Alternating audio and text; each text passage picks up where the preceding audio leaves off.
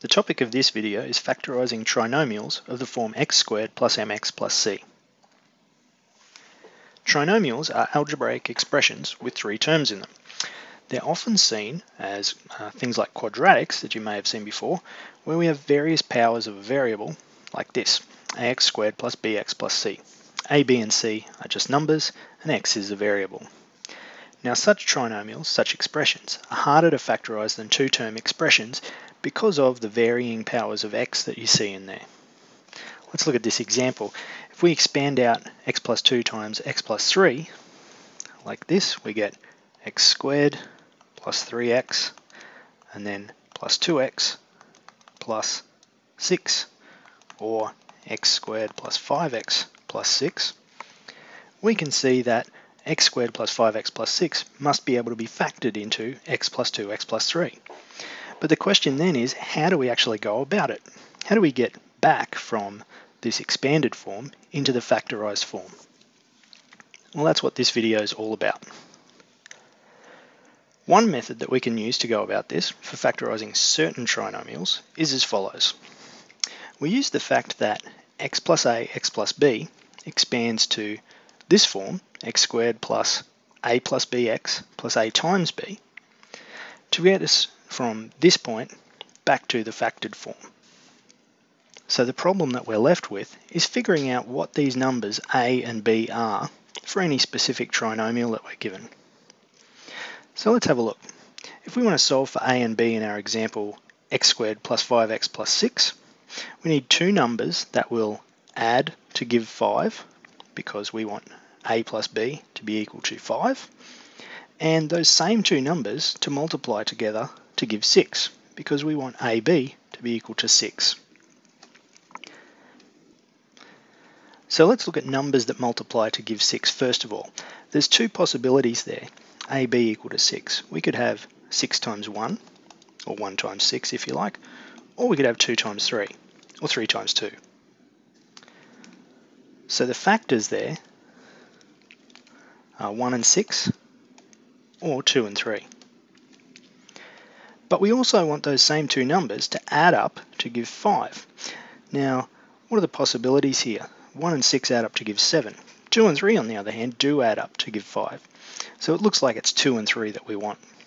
So this means that we should be able to write x squared plus 5x plus 6 as in this form, x squared plus 2 plus 3x, and then 2 times 3. So let's check if it works.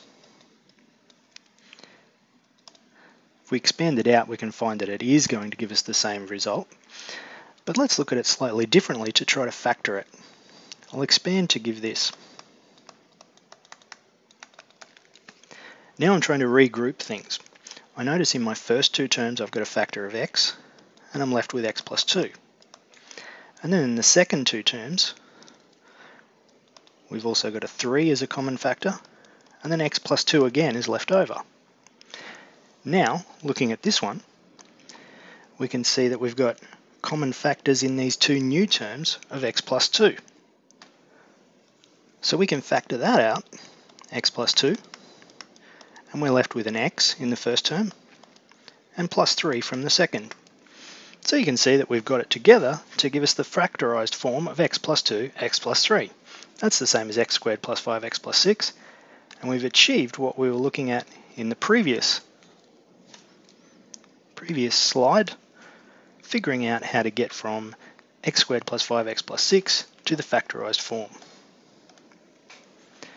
Let's have a look at it in some examples. Pause the video if you like and see if you can try these out for yourself and then come back and join me in a minute. Okay, so remember that what we're trying to do is find two numbers, a and b, to put in this factorized form, such that the sum of a and b is the coefficient of x and the product of a and b is the constant on the end. So in our first example here, that means we want a plus b to be equal to 8 and a times b equal to minus 9. Let's look at the factor pairs for ab equal to minus 9. Factors of minus 9 could be minus 9 and 1, 1 and minus 9, uh, sorry, minus 1 and 9, and 3 and minus 3. Then we need to think which of these factor pairs could add to give us 8. Minus 9 and 1 adds to give minus 8. That's not good enough. Minus 1 and 9, that adds to give 8, so that's good. Uh, 3 and minus 3 gives 0, so that's no good. So it looks like we want these to be our A and B. Now in these kinds of trinomials where the coefficient of x squared is 1, it doesn't matter which we pick to be which.